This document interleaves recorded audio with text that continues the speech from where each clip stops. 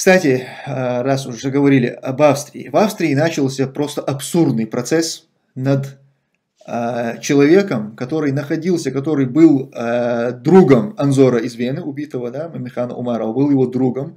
Официально они говорят, что он был его якобы телохранителем, но можно и так назвать. Он был человеком приближенным, он находился рядом с Анзором из Вены. В момент убийства он тоже был рядом с ним. И когда Анзора убили, этот парень попытался э, убить киллера, то есть выстрелить в ответ. По сути, он попытался э, осуществить самооборону. Он достал пистолет ТТ, который был ему э, дан, насколько ну, мне известно из этой из официальной версии, по крайней мере, он был дан этому человеку Анзором. То есть Анзор дал ему пистолет, у Анзора у самого тоже было оружие, они, и они находились вместе. То есть это он и давал ему оружие для того, чтобы тот в нужный момент мог им воспользоваться. Но когда он вытащил этот пистолет и произвел э, выстрел, то есть нажал на курок, пистолет не выстрелил. Оказалось, что патрон, это опять-таки экспертиза это выяснила, что патрон был отсыревший. Он не выстрелил. Когда он не выстрелил, Парень попытался передернуть затвор, то есть, э, чтобы выкинуть эту пулю, этот патрон, загнать второй. Но в этот момент у него заклинило пистолет, то есть э, патрон застрял в этом патроннике. И таким образом тому удалось э, уехать, убежать. Это Сарали Ахтаев, да, который был затем задержан. Задержан этот Сарали Ахтаев был по показаниям этого парня – у которого не получилось его застрелить, обезвредить. То есть он уже дождался полицию, он сообщил, что стрелявший это вот этот человек, что он скрылся на таком-то автомобиле, такой-то цвет, возможно, номер. И это помогло задержать этого человека. И теперь угадайте, что происходит в Австрии. Этого парня теперь судят за попытку убийства киллера.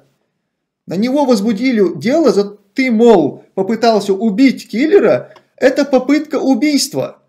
И сейчас, в настоящее время, уже начался судебный процесс и идет в Австрии. Это просто театр абсурда. Я... Вы понимаете, в какие рамки нас вгоняют в конечном итоге? Нам легче быть убитыми. Нам говорят, пусть вас убьют. Если вас убьют, то никаких проблем. Мы, если задержим убийцу, мы его осудим, если не задержим, как в случае с убийцей э, Мансура Старого, то, ну, что поделаешь, Интерпол там его подадим до лучших времен. Может быть, когда-нибудь он попадет в наши руки.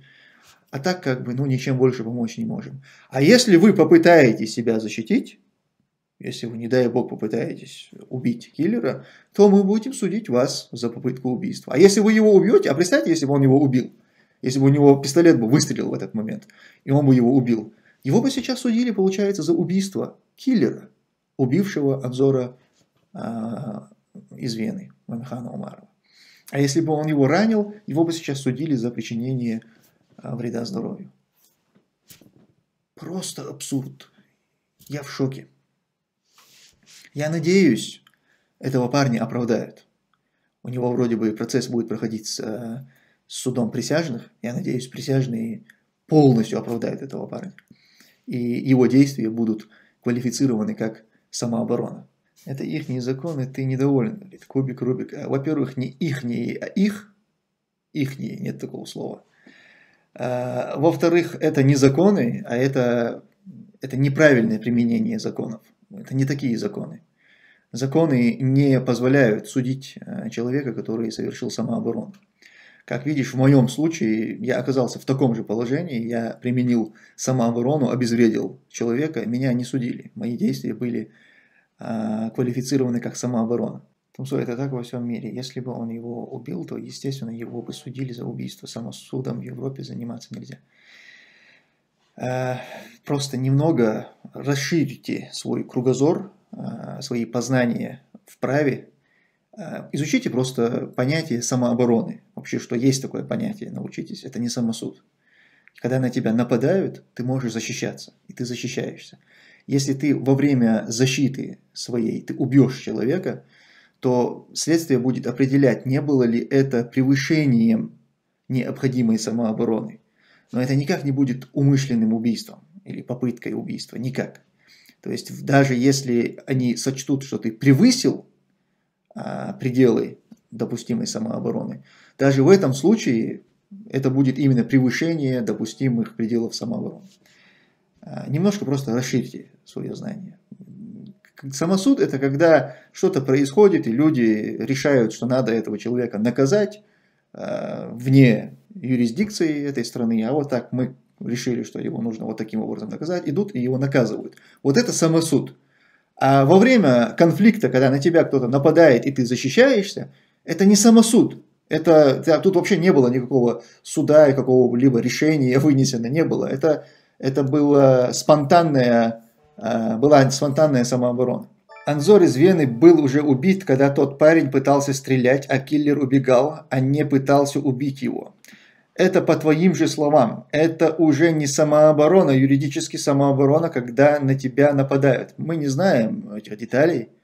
Uh, убегал он там или не убегал, в какой момент тот попытался выстрелить. Это, этого всего uh, в в тех материалах открытых, которые у нас, которым есть доступ, этого нет. А, я думаю, что даже вот, этот, вот эти моменты, то есть убегал он или это все будет спорно. Он будет это объяснять по-своему, те будут настаивать на своем, конечно, они сейчас будут говорить, пытаться это подвести под э, попытку убийства, они будут говорить, что тот там убегал, этот за ним бежал. А, я не знаю, в общем, как это, как там на самом деле, к сожалению, нет возможности участвовать в этом судебном процессе. Но как бы там ни было, это абсурд, полный абсурд. Кадыров же построил заново ваше государство. Наше государство, государство наше он не построил заново, он просто город построил. Кстати, вы знаете, вот это тоже момент, э, я недавно обратил внимание, а, во многих городах, где были войны, например, один из балканских городов, по-моему, это был Сараево, если я не ошибаюсь. Э, я смотрел видео Максима Каца, он ездил по этим балканским странам, рассказывал о войне в 90-х годах, которые, э, которую пережили Балканы при развале Югославии. И вот он там показывал, значит, места, по-моему, в Сараево, когда сербская армия обстреливала этот город, они в качестве напоминания о, этих, о войне, о ужасных событиях, они не стали, понимаете, стирать эти следы войны. Они, наоборот, сделали, как-то оформили это все. Вот там есть такие места, куда попал снаряд, он взорвался, и то есть такая небольшая воронка, и такой, такие следы от осколков бывают.